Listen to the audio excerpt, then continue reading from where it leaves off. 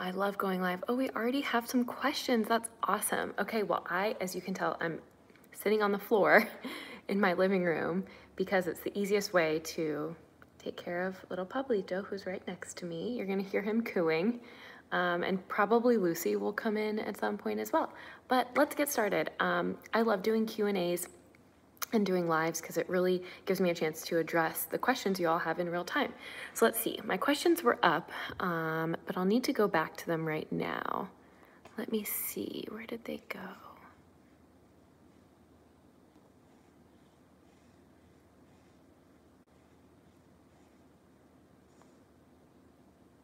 Here we go. All right. So our first question was 14 weeks and already having trouble staying asleep, any remedies? Sleep can be really problematic in pregnancy and it's frustrating because everyone tells you, oh, you're not gonna sleep when the baby gets here. And you're like, gee, thank you. So what do I do to sleep now?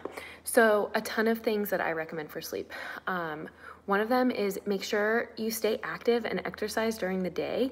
I know it's you're exhausted, especially in the first trimester, but getting in movement will help prep your body to know, oh, we're gonna have to go back to sleep and we get energy out during the day. There are other things to do. Obviously, having good sleep hygiene, like not looking at screens for an hour before bed, doing meditation, using your bed only as a place for sleep, etc., are really helpful as well. Um, there are pharmacologic things you can use. Some people think magnesium supplements can help with sleeping. Um, I get a little bit of mixed reviews on that, but some people swear by them. The other thing is that you can use melatonin in pregnancy. Now, melatonin isn't really studied in pregnancy, so some people say, oh, there's no data, don't use it. But taking a melatonin supplement is really similar to the melatonin your body naturally makes. And so I tell people, you know, there's not really data, but like if you just use an amount maybe on the lower end, like three milligrams, it should be fine and safe. And then finally, my favorite one is using Unisom. Unisom is a medicine that's similar to Benadryl. It's a type of antihistamine. And it is really good for nausea. So you kind of get two birds with one stone if you take Unisom at night. It's safe to use to sleep and it helps with nausea. So that's probably my favorite one.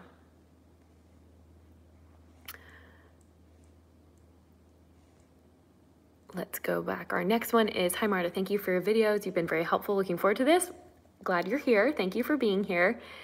34, next one is 34 weeks. And if and if one tested positive earlier around 24 weeks for GBS, will they retest again? Despite me taking antibiotics the first time, I really wish these would stay up. Despite me taking antibiotics the first time, around? Why do they want to retreat before labor? This is a great question. I actually have a video on GBS. It was one of the first ones I uploaded. So it's important to know that GBS isn't an infection. It is a normal type of bacteria for the vaginal and rectal and GI microbiome. It is not a problem for the pregnant person at all. And we don't even test it in people who aren't pregnant. It's only a problem because of the specific way babies' immune systems are set up. If ah. babies contract it when they're young, they can get really, really sick. So some people are what's called GBS colonizers, meaning GBS is a normal part of their microbiome. Not a problem, except if the baby is exposed to it. Some people are GBS like partial colonizers, so there's kind of maybe a waxing and waning presence of GBS, and some people are non-colonizers. But most people are gonna be in that middle where they're sometimes have GBS, sometimes not. So if we ever detect GBS during pregnancy, the recommendation is to give antibiotics during the labor process. And once it's been positive at some point in pregnancy, like sometimes it can be positive in a urine culture, it's usually not from the urine, it's usually just from the vaginal microbiome that the urine picked up in the test. We do recommend treating.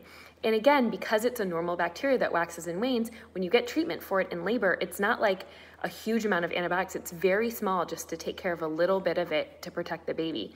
So it's not like you'll get rid of GBS. It's, GBS is a normal bacteria. It's not problematic for you, just the baby. That's why we treat during labor. All right. That was a great question. Definitely watch that GBS video I have also. Love your videos. Thank you so much. I'm 34 weeks and the baby is breech. We're trying lots of things, but can you speak about EV, EVC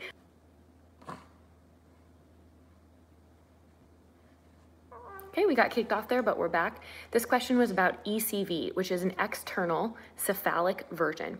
And what that means is when a baby is in a non-head down presenting position, I'm gonna fix my baby right now, then which is either like transverse or breech, then what we can do is usually at 37 weeks is the best time to do it. The doctors can take a pregnant person and usually we do it with an epidural and the healthcare providers, doctors or midwives, attempt to use their hands on the outside of the belly, external, to try to turn the baby into a cephalic presentation, cephalic version.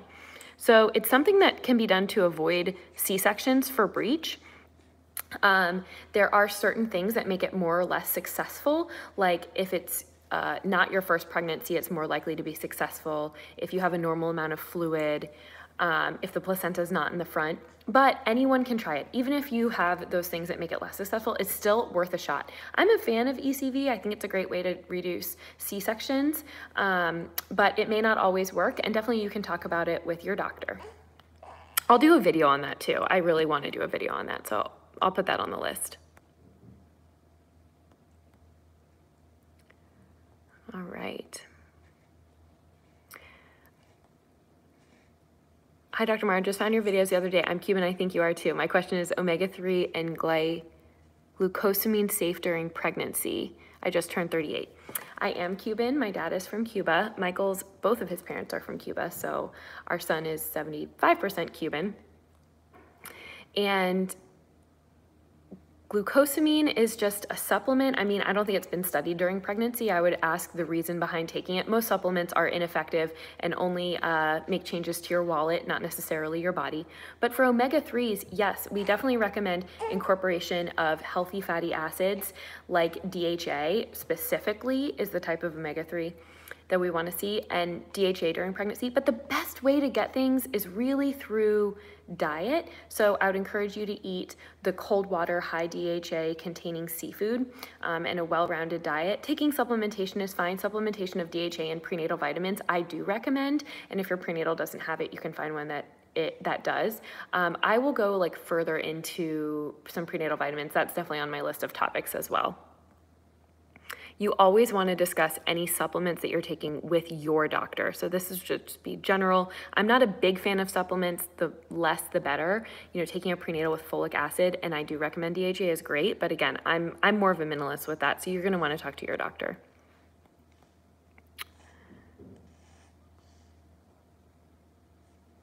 All right, the next one is also wondering, do women lose follicles while pregnant? I saved 25, 25 follicles at age 37 was wondering if I should get pregnant or freeze one more cycle.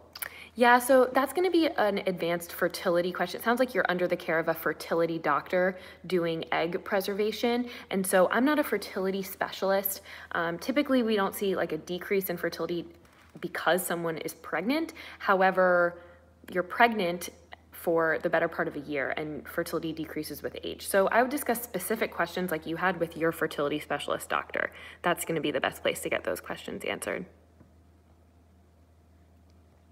All right. Thank you for sharing all your knowledge. Do you have any experience with incompetent cervix? Do women with cerclages tend to deliver earlier or soon after they get the cyst removed? So I do have experience with patients who have cervical insufficiency, which we like better than incompetent cervical insufficiency and receive cerclages, but that's really personalized care and I can't, it would take me probably an hour to discuss all of the kind of complex things around diagnosis of cervical insufficiency and cerclages and who's good candidates and the outcomes for cerclages, et cetera. So I won't get into that here, but that's definitely something you want to talk to a high risk OB doctor about, an MFM doctor, because they're the specialists that really specialize in cerclages and cerv cervical um, insufficiency.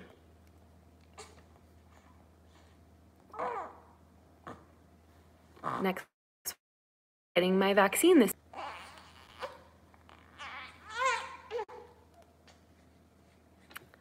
Sorry, friends. I don't know why my my internet is usually really good. I don't know why it keeps going out. But the next question was about getting the vaccine while breastfeeding. And the person said, I know you did it. Any words of wisdom? So the answer to that is yes, I did get the vaccine while breastfeeding. I didn't change anything about my breastfeeding and I didn't notice any different effects about breastfeeding or in my son or anything. Um, and I would say it sounds like what, since you've already decided to get the vaccine, it sounds like what you're struggling with is just unknowns and feeling like this decision wasn't either zero or a hundred for you. And that you were kind of in the middle. You recognize that you want the vaccine and you chose to get it, but you also may be struggling with just some of the unknowns and that maybe this wasn't like the most obvious choice for you and there's a lot of things you considered. So my advice then when we make decisions that are hard for us is just to give yourself peace and acceptance. Remind yourself why you made the decision and how important that decision was to you and how you're doing the very best thing for you and your family's health no matter what. And if you remind yourself why you make important decisions and what brought you to that, I think that helps bring peace because it sounds like what you're really struggling with is just all of the unknown and the frustration around the lack of knowledge about lactation and pregnancy and the vaccine.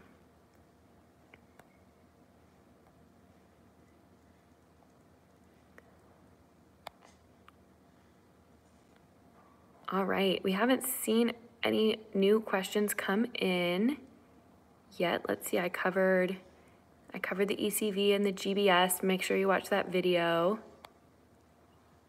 Oh, I think I missed one. I, I asked my nurse midwife about scheduling a 39 week elective induction at my 20 week appointment. She said she preferred to wait until 38, 39 weeks to decide is that the norm? Thanks. Um, I would ask her why. Again, in my induction video, as I saw, I tended to recommend bringing it up a little earlier just because sometimes the reservations at labor and delivery um, are hard to get. So if you ask about it at 38 weeks, they may not have a place for you the next week. And some labor and deliveries may not even do 39 week elective inductions because they don't have room. So I would just ask her the why behind waiting till 38, 39 weeks and then bring it up again. Um, maybe, you know, 28 weeks or something like that at the beginning of the third trimester, which usually would be 20 of room. If your nurse midwife says, you know, I don't believe the ARRIVE trial or I don't, I'm familiar with the ARRIVE trial, but I don't like agree with it or something, you can just say, thank you for your opinion on it, but like, you know, I, in understanding the ARRIVE trial or thinking about induction, think this would be right for me. And they should respect your autonomy with that. Autonomy is the most important thing when it comes to pregnancy care. All right, do you know anything about circumvallate placenta? I do. I do know things about circumvallate placenta, but I suspect you were asking for even more information. Um, I also want to do more of a placenta video. I had a marginal cord insertion in my placenta, and I got a lot of questions about marginal cord insertion and circumvallate placentas. So some of these things are meaningful, sometimes they're not at all. Sometimes they're picked up on ultrasound, sometimes we don't even know until delivery that there was one of these issues going on. Again, I'll go more of a deep dive into the data. Occasionally, we think that abnormal placentas could possibly contribute to babies being smaller, what's called intrafetal growth restriction, um, or like placental insufficiency, but it's not a super strong relationship. So it's not something that's a huge danger or anything. It's more something that we sometimes see again, sometimes we see it on ultrasound before, and sometimes we don't even diagnose it till birth. Um, so I wouldn't say that it's something to be really, really concerned about. And I can take a deep dive into the data um, when I do a video on it. All right, found out congratulations and congratulate and contact my OB-GYN from now when I am around 12 weeks and that's normal. So the timing of the first OB visit depends a lot on the practice setting and where you are. I know that in some countries it's very common not to have a visit or ultrasound until 12 weeks. In other places, a doctor's office may bring you in earlier. Usually the time of the first ultrasound is around eight to 10 weeks um, is what I see more commonly.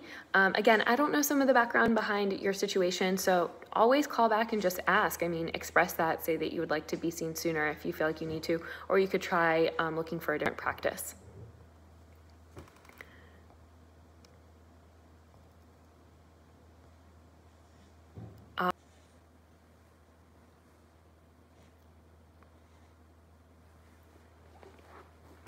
This connection is just not great. Okay, for the person terrified of needle surgery, etc., not pregnant yet, that is okay. I have had patients definitely that are scared of needles and um, kind of medical intervention. One thing I'd recommend is if something is going to bring you a lot of stress, then the best thing to do preemptively is try to manage that stress. Phobias are actually something that cognitive behavioral therapy, CBT, that you can work on with a psychologist or psychiatrist is super, super effective at treating. So that can be an option for you, can start before pregnancy. Another thing is that you can work with your healthcare provider to kind of set expectations. You know, we don't use a blood draw or needle at every single pregnancy visit, but you can have like a list of them and create kind of a plan for it. So that's what I would recommend is be proactive, get into CBT and therapy to try to work on those fears ahead of time if you can. If you can't, definitely we can work with you in pregnancy to try to make you as calm and get all the information we need to take really good care of you at the same time. These are such good questions. I'm so glad you guys are here. What are the recommendations on induction for VBAC? Okay, so this was a really popular comment on my induction of labor video. And I have to say that it's a really, it's a topic I'm passionate about as well. When the Arrive trial came out, reading it was really interesting. And my next thought immediately was, but what about VBACers? Um, I absolutely would love to see a huge trial like the Arrive trial, specifically in VBACers. Induction with VBACers is a little bit can be controversial a little bit in the OBGYN field. Um, some people feel comfortable doing an induction for VBACers. We can't use the same medications. We can only use Pitocin and manual cervical dilation. We can't use those um, prostaglandin medications I talked about in the induction video because they can increase the, use, the risk of uterine rupture. So we're a little bit, hands are tied in terms of our tools for induction. Other people don't feel comfortable with induction. So having having an induction is associated with a higher chance of failed or failed VBAC, but so is ongoing pregnancy past 39 weeks. So for people who haven't gone into labor at 39 weeks, we don't know the answer of is it what is better, having an induction or waiting for labor. And I would love to know the answer to that, but we just don't know. So you're gonna wanna talk to your doctor about it. All right.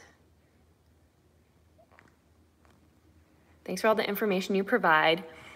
Does high blood pressure that presents before 20 weeks with no previous history mean potential for high blood pressure to stay post delivery? Yes, if you have high blood pressure before 20 weeks, that counts as chronic hypertension because your blood pressure should actually be lower in the first trimester than in your non pregnant state. So if you have high blood pressures in the beginning of pregnancy, what that tells me is that you actually do have high blood pressure. You have high blood pressure outside of pregnancy. And having chronic hypertension does increase the risk of preeclampsia within pregnancy. And of course, we wouldn't expect it to just go away after pregnancy either, since it was present before pregnancy as well. Um, having chronic hypertension is an indication to take aspirin therapy to help decrease the risk of preeclampsia. And I go all over all of that in both the part one and part two preeclampsia episodes. So definitely check those out for more information.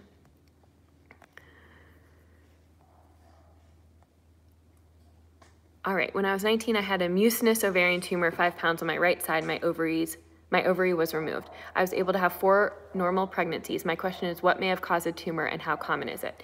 So mucinous ovarian tumors um, are typically cared for by an OBGYN who may have it the first time, but if they recur, they may be taken care of by a gynecologic oncologist. Just telling me the ovary tumor was mucinous doesn't give me enough information to talk to you about recurrence risk um, or other associations. So I'm, I can't quite speak to that. It's a little bit too in, in um, specific and I would need more information as your doctor to talk to you more about. But I'm really glad that you've had successful pregnancies, which goes to show that even with one ovary, um, our fertility isn't necessarily reduced. It's kind of like that other ovary can pick up the slack of the one ovary, which is nice.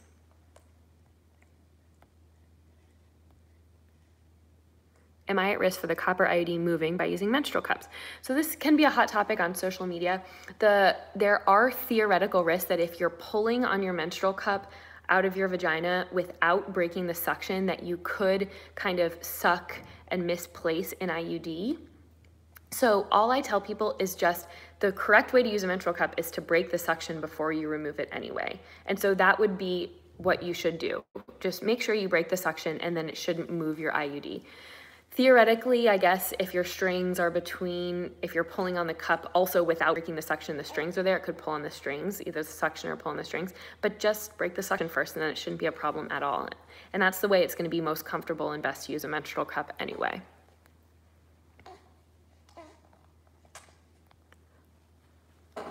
Right, we'll do, it's been about 20 minutes. We've got lots of great questions here. Um, I'm so glad you guys came to join me on this. And this was just a really fun Friday thing when I just didn't get to editing this week. You know, part of the background of why I didn't get to editing is that even though I'm on maternity leave, I'm not going into work. Ah, I'm doing some of my academic work like papers and research and I put a lot of pressure on myself to get things done and be a present mom. And I realized that maternity leave was going by too fast and I was not enjoying him as much as I should because I had this idea of all the things I should do. So I let go of the shoulds this week and just said, I'm going to be present in the moment. It was really nice. So thank you so much for joining me in this present moment. And I hope you guys have a really lovely weekend. This, of course, will be saved to my profile so you can refer back to it.